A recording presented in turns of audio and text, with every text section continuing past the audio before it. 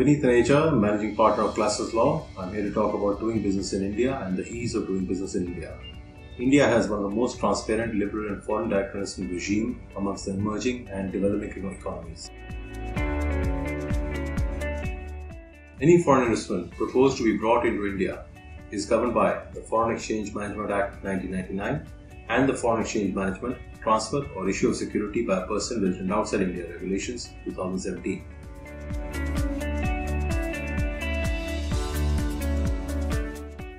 Foreign corporate and individual investment, termed collectively as FDI, is permitted to be made in equity shares, fully compulsory and mandatory convertible debentures, and fully compulsory and mandatory convertible preference shares of an Indian company.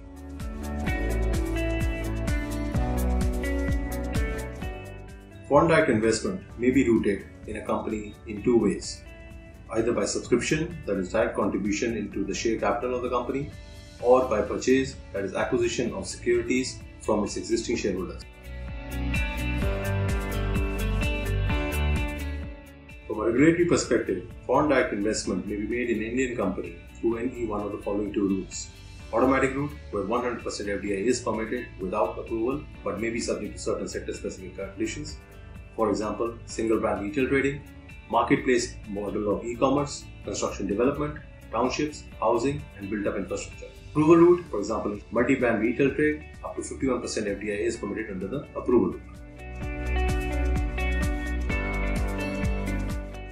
The business structures or forms of entities for doing business in India include a company, which may be a private or a public or a wholly owned subsidiary or even a joint venture, a limited liability partnership, offices by way of a branch office, liaison office, or a project office, or having a franchise agreement or distribution agreement with an Indian party.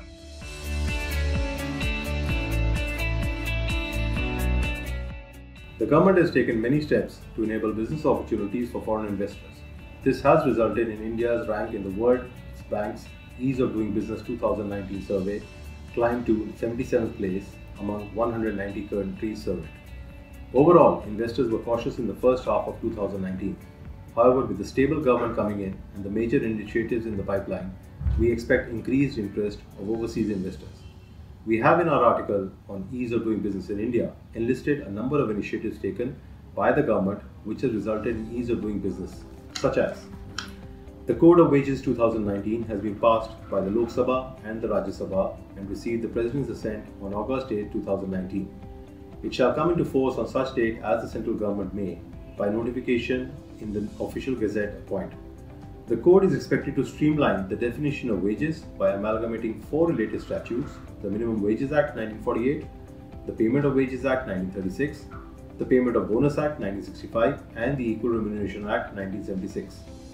The Code on Occupational Safety, Health and Working Conditions Bill 2019 was introduced in the Lok Sabha on July 23, 2019. With the ultimate aim of extending safe and healthy working conditions to all workforce of the country, the code enhances the ambit of provisions of safety, health, welfare, and working conditions from existing about nine major sectors to all establishments having 10 or more employees.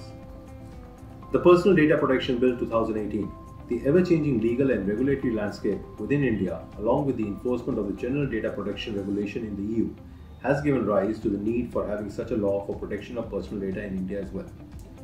This paves the way for the birth of the bill, which emphasizes on the need for increased safeguards vis-a-vis personal data along with stringent penalties.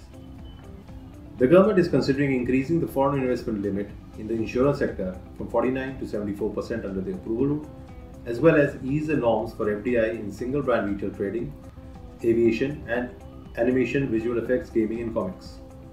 External commercial borrowings framework has been amended recently. Proceeds of ECBs can now be applied towards repayment of INR loans awaited on onshore, where proceeds of such loan have been full, utilized for capital expenditure, meeting working capital requirements and general corporate purposes. For ECBs to be used for these end uses, certain minimum average maturity norms must be complied with.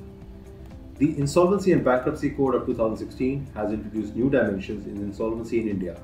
It is India's first comprehensive legislation of corporate insolvency.